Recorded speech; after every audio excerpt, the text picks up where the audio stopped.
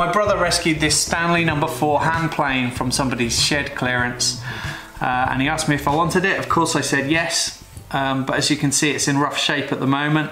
The wooden handle at the back is quite loose. It's also thick with rust as you can see. The cutting iron is in bad shape. And I've already sprayed this with oil, which is why it has a slightly wet look to it because I couldn't get the lever cap off originally. Let's see if it'll budge now.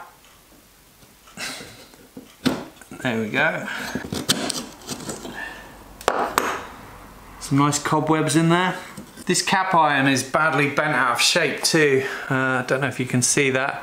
That should be straight. And I can't get that screw to budge. So in this video I'm going to convert this Stanley number 4 into a scrub plane for two reasons. One, I already have a Stanley number 4 smoothing plane and I don't need two of them. And two, a scrub plane, if you're not familiar with what one is, is a really useful tool for flattening warped boards quickly. And you might be thinking, why don't I just use my planer thicknesser for that? Well, usually I do, but often I'll have a board that's too wide to fit through my machine, which has a 260mm capacity. So on those occasions when I want to flatten a wider board, a scrub plane is going to be really useful. Plus, I enjoy using hand tools from time to time. The main way that a scrub plane differs to a smoothing plane is that the cutting iron has a camber along the width of the cutting edge. There are some other modifications I'll need to do though, which will be covered later in the video.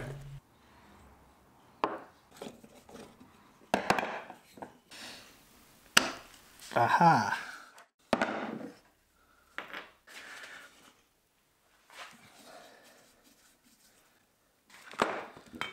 To remove the worst of the rust, I first did a bit of sanding on some 100 grit abrasive paper on a flat surface, and I'm doing that firstly to remove the worst of the loose rust, although I'm not trying to remove all of it here, and secondly because I want the sole of the plane to be flat. Having said that, the sole of a scrub plane doesn't need to be perfectly flat. Flatness for a scrub plane, which is used for removing lots of material very quickly, is much less important than it would be on a smoothing plane, which is used for finer finishing kind of work.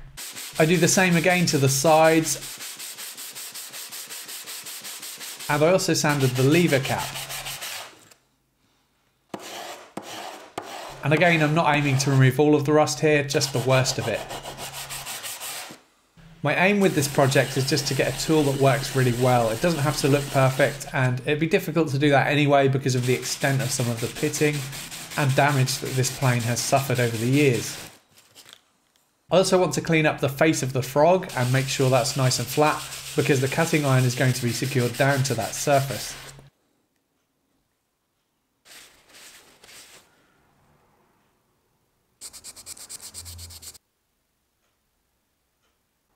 and also the base of the frog where it will be in contact with the body of the plane.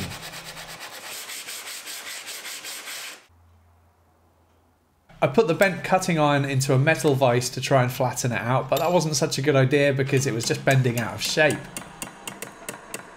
And I found that putting it onto a flat surface and hammering it gave me a much better and more flat result. At this point, to get rid of the rest of the rust in all of the hard to reach areas, I put all the parts into a bath of some vinegar and I'm just using whatever vinegar I could find in my kitchen cupboard, which happened to be some out of date white wine vinegar and some distilled vinegar. And I let everything sit for a few hours.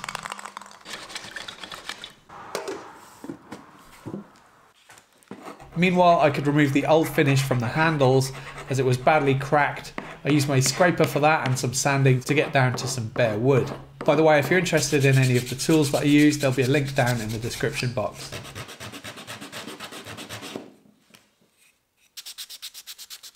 For the front knob, I took the lazy option and popped it onto my lathe just to make sanding and refinishing really quick and easy. The finish I'm using here is shellac, which will reseal the wood and bring out the grain. I denibbed between coats with some 400 grit wet and dry paper to keep things nice and smooth and added four coats in total. So I've left this a couple of hours and my container doesn't seem to be quite watertight, but it's not leaking too badly. So my random vinegar solution worked really well. The rest of the rust just wiped away really easily.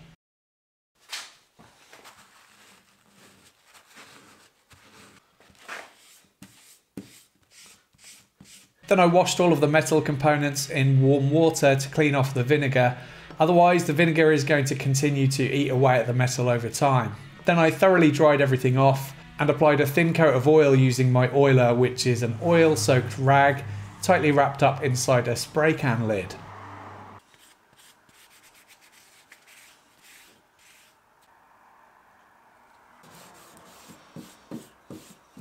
And all of the moving parts got a dab of oil. I polished up all of the solid brass parts by putting them into the chuck of my drill and I used a scouring pad to make them shiny.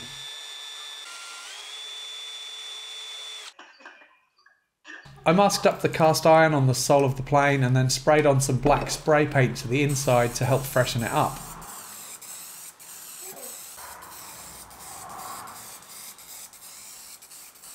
And I decided to try and restore some of the shine to the lever cap, so I sanded through the grits, starting with 240, then 400, then 600, and then I charged up a buffing pad with some green polishing compound and used that in my drill to add some shine.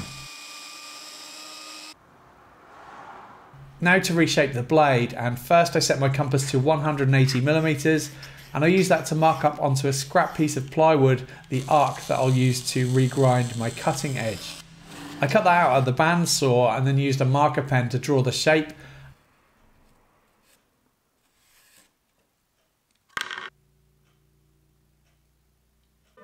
and I can then set my grinder support table to a 25 degree angle and start reshaping.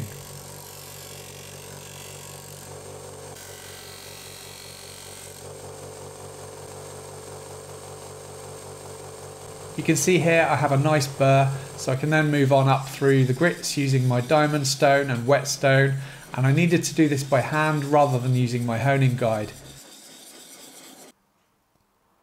If you'd like more information about my process for sharpening or my grinding setup, I'll leave links to videos about those in the description box below.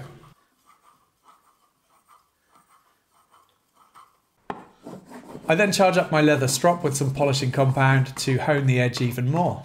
Probably not necessary on a scrub plane cutting iron, but I did it anyway. And then I can remove the burr.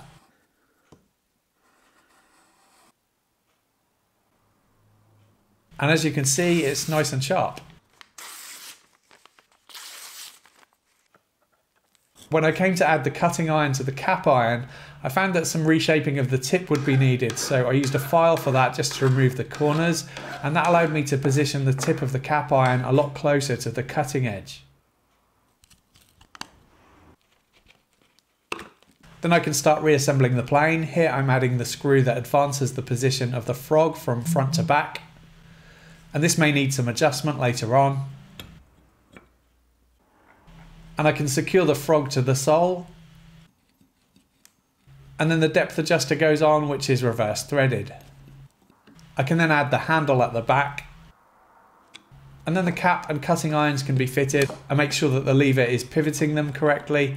And that looked good, so I added the lever cap by the way, if you want more detail about how I like to set up my hand planes for best performance, I have a video all about that too. I also have another video about how I restored my Stanley number 4 smoothing plane. I'll link to both of those in the description box below. At first the depth adjuster was too tight for my liking so I backed it off because I like to be able to twist it with one finger. And then I can add the front knob.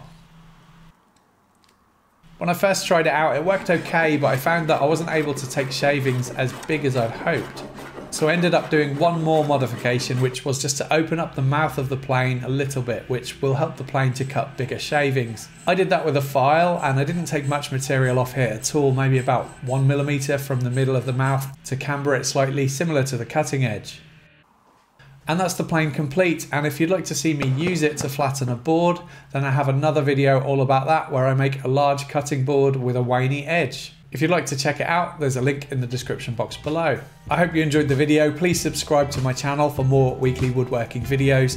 If you'd like to help support the channel, you can do so on PayPal, Patreon, or YouTube channel membership. Links to those in the description box below. And on Patreon and YouTube channel membership, you can also get early access to my videos, free project plans and cut lists, some exclusive videos, and a name credit at the end of my videos.